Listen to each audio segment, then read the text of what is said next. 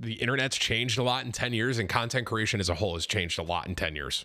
Whether it's Twitch, whether it's YouTube, if you talk to anyone that did YouTube 10 years ago to what YouTube is like this day and age, it's a lot different now. And anyone that streamed on Twitch or Justin.tv 10 years ago to compare to what it is now, everything's completely different, bro.